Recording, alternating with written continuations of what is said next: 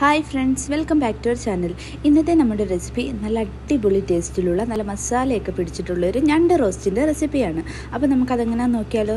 അതിന് വേണ്ടിയിട്ട് അത്യാവശ്യം വലിയൊരു പാത്രം ഞാൻ അടുപ്പത്ത് വെച്ചിട്ടുണ്ട്. അതിലേക്കൊരു മൂന്ന് നാല് ടേബിൾ സ്പൂൺ വെളിച്ചെണ്ണ ഒഴിച്ചു കൊടുക്കാം. ഈ വെളിച്ചെണ്ണ നന്നായിട്ട് ചൂടായി വന്നു കഴിയുമ്പോഴത്തേക്ക് കടുക് എന്നിട്ട് പൊട്ടിച്ചെടുക്കണം. കടുകെല്ലാം പൊട്ടിക്കഴിയുമ്പോഴത്തേക്ക് നമുക്കിതിലേക്ക് സവാള അരിഞ്ഞതിട്ട് കൊടുക്കാം. ഇത് അത്യാവശ്യം വലിയ ഒരു മൂന്ന് സവാളയുണ്ട്. അത് നൈസായിട്ട് അരിഞ്ഞെടുത്തതാണ്. അത് ഇതിലേക്ക് ഇട്ട് കൊടുക്കണം.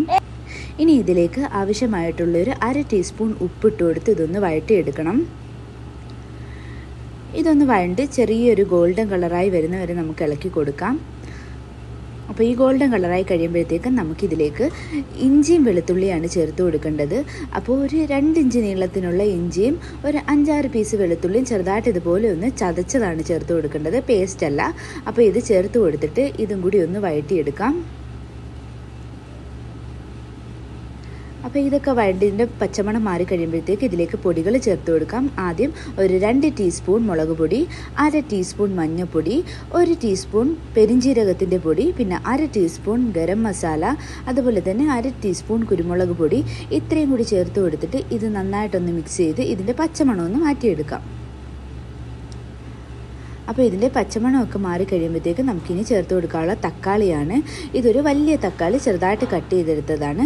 അത് ഇതിലേക്കൊന്ന് ചേർത്ത് കൊടുത്തിട്ട് ആവശ്യത്തിനുള്ള കുറച്ച് കറിവേപ്പിലയും കൂടി ഇട്ട് കൊടുത്തിട്ട് നന്നായിട്ടൊന്ന് ഇളക്കി മിക്സ് ചെയ്ത് കൊടുക്കാം. അപ്പോൾ ഈ തക്കാളിയൊക്കെ ഒന്ന് അത്യാവശ്യം സോഫ്റ്റായി വരുന്ന സമയത്ത് നമുക്കിതിലേക്ക് ഞണ്ടാണ് ചേർത്ത് കൊടുക്കുന്നത്. ഇത് ഒരു കിലോ ഉള്ള ഞണ്ട് നന്നായിട്ട് ക്ലീൻ ചെയ്ത് കഴുകിയെടുത്തിട്ടുള്ളതാണ്. ഇത് ഇട്ട് കൊടുത്തിട്ട് നന്നായിട്ടൊന്ന് ഇളക്കി കൊടുക്കണം. ഈ ഞണ്ടിന്റെ എല്ലാ ഭാഗത്തും മസാല എത്തുന്ന രീതിയിൽ നല്ലപോലെ ഒന്ന് ഇളക്കി കൊടുക്കാം നമുക്ക്. അപ്പോൾ ഇത് നന്നായിട്ടൊന്ന് ഇളക്കി കൊടുത്തതിന് ശേഷം മൂടി വെച്ചൊരു അഞ്ചാറ് മിനിറ്റ് വേവിച്ചെടുക്കണം.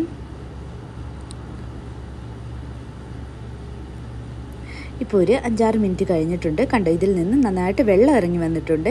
ഇനി ഇത് തുറന്നു വെച്ചിട്ട് ഈ വെള്ളം വറ്റി വരുന്നവരെ വേവിച്ചെടുക്കാം.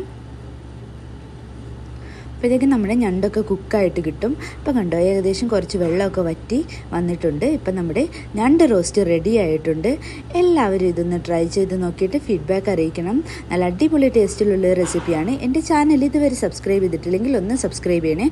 അടുത്തുള്ള ബെല്ലൈക്കണും കൂടി ഒന്ന് പ്രസ് ചെയ്തേക്കണേ. അപ്പോൾ ഓക്കെ ബൈ ബൈ